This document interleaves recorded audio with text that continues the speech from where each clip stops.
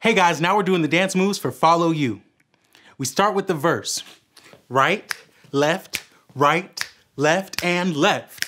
Right, left, right. We continue that all the way up until the chorus.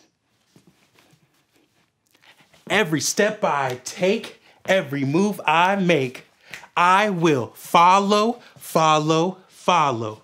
Down, up, left, right, day.